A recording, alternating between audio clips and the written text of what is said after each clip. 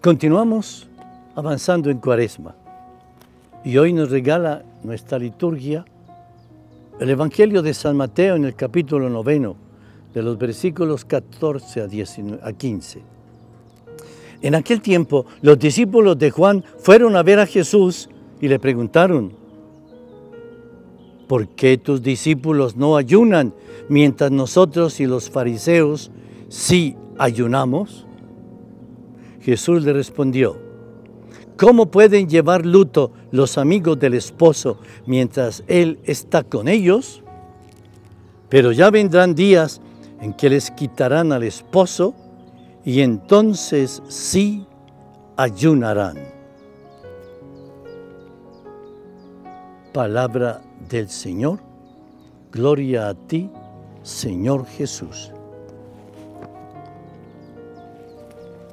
Hacer ayuno denota que estamos orando para corregir algo, que estamos entonces privándonos de algunas cosas para poder así ir puliendo en nosotros la imagen de Jesús, es decir, ir pareciéndonos un poco al decir y al hacer de Jesús. Por eso Jesús entonces nos dice que nosotros ayunemos, pero ayunemos con alegría, con gusto, sabiendo que precisamente no lo hacemos ni para que nos vean, sino lo hacemos para forjar en nosotros a Jesús.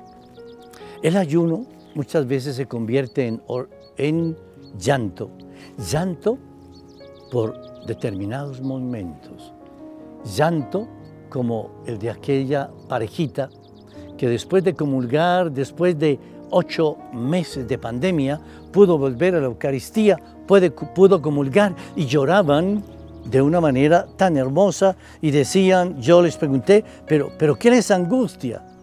Y me decían, no, lloramos de alegría, de poder volver a comulgar, de poder tener en nosotros a Jesús como pan de la vida. Otros también lloraban, pero ellos sí lloraban de tristeza. ¿Por qué lloran de tristeza? Lloramos porque estamos en pecado. Lloramos porque hemos ofendido al Señor. Lloramos porque realmente nos estamos comportando mal con el Señor. Ahí está. Unos lloran porque está el esposo. Los otros porque lo han perdido. ¿Y tú has llorado alguna vez?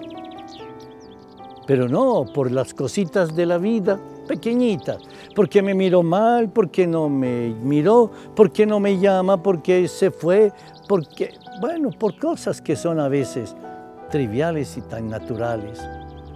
Lloras por Dios, porque gozas con Él y sabes encharcar tu tus ojos de gozo, o lloras de tristeza cuando realmente ofendes a Dios en tu prójimo y así pierdes el gozo de su amistad y de su amor. Que el Señor entonces te invite a orar y a llorar de alegría, pero también cuando estás en falla.